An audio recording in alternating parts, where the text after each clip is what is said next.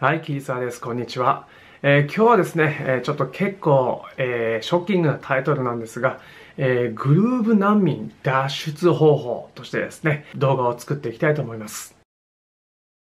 え目的はですね、えグルーブを聞き分けられる耳、それとですね、グルーブを感じ分けられる体を作ることです。えグルーブをですね、判断する物差しをえー、自分たちの体の中に作ることを目的としています。えー、そうすることによってですね、えー、これはグルーブしているのか、えグルーブしていないのか、え聴くべき音楽は、演奏すべきことは、などがですね、的確にわかることができるようになります。それにですね、え自分自身がグルーブしているのかどうかもですね、判断できるようになるため、成長速度が劇的に速くなります。え何を練習するのかではなくどうやって練習するのか。それが目に見えるのも大きなメリットとなります。それとですね、え最近僕が思うんですが、え演奏が非常に楽になりました。しかしですね、えデメリットもあります、え友達が減ります。えっとですね、え今まで一緒に演奏していたベーシストだったりですね、一緒にリズムを刻む仲間がですね、えー、僕の物差しとちょっと合わないなって時はですね、はあ、今日は長えなって思っちゃうようになりました。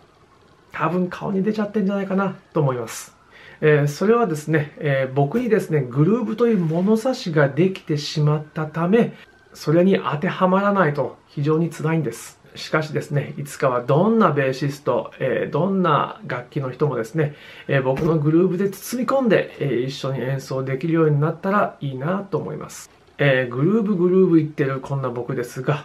え僕もかつてはグルーブ難民でした。ロサンゼルスではですね、え仕事をするためにはまずタイムが良くないとダメです。えカール・サンダース、え僕の友達、僕の師匠、え彼が言うにはですね、えー、ピッチ音痴よりもタイム音痴が多すぎる。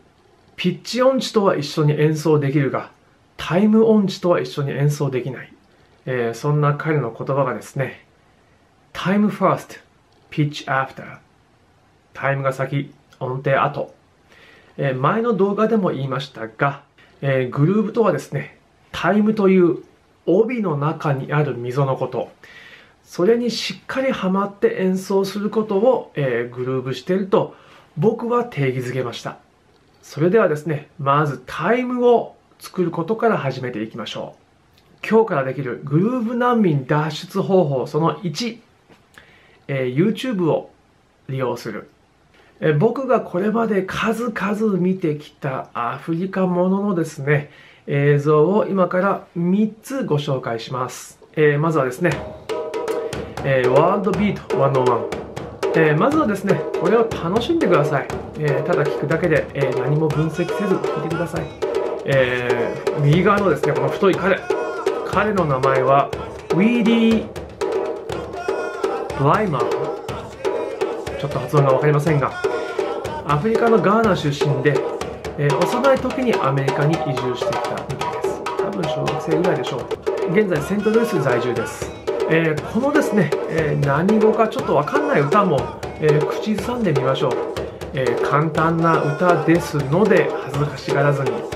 短い動画ですので、え何度も何度も見ることをお勧めします、え2つ目バワザンこれはですねえアフリカの国マリえの首都バマコでえ活動するこのですね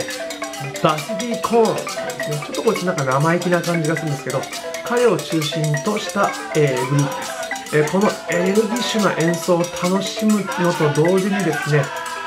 一つのビートを感じてください。でこの一番左のですね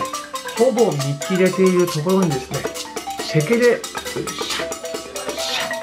ッシャッえー、と、えー、この後ろの3人、えー、太鼓を横にして並べている3人ですね、えー、彼らの足もう見てください。このビートがですね基本的にこの曲のタイムとなります。エネルギッシュな演奏とこのタイムをまず感じてください。この時なんですが前方の彼ら何か楽しんでませんか？喋っているのかゲームなのか？えー、子供が何か楽しんでいるようにも見えます、えー、これは非常に興味深いです。3つ目。これはですね、えー、毎回、えー、いろんなところで僕が言っている僕のメトロノーム動画です。これはですね南アフリカで行われたズールダンスのコンテストの映像です。この市長のですねインタビューの後に3つのグループが出てくるんですがこれが僕のメトロノームです、えー、特にこのグループ素晴らしいんです。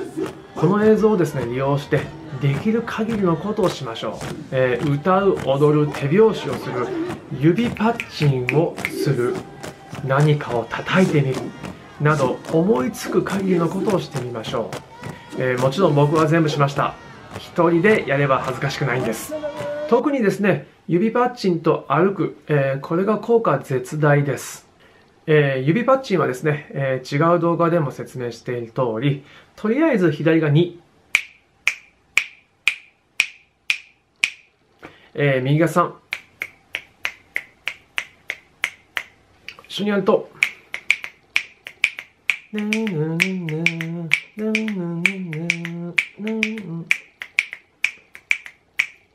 このダンスの中に入ったつもりでこの指パッチンを、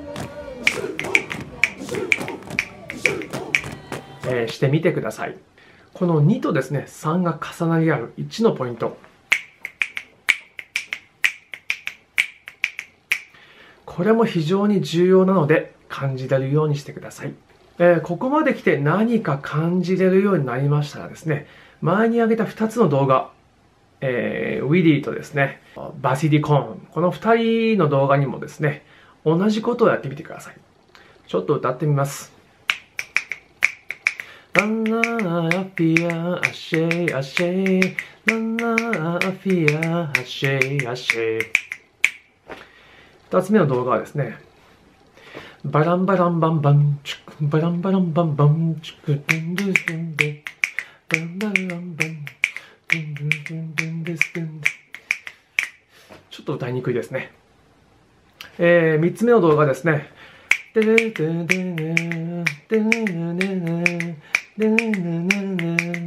これをですね、恥ずかしがらずに数をこなせば、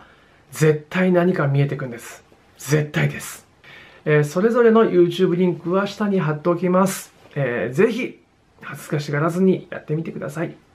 えー、今日も動画をご覧になっていただき誠にありがとうございます。いいね、ダメだね、えー、なんか質問、コメントなどありましたら、ぜひ下の方に、あとチャンネル登録もよろしくお願いします。では、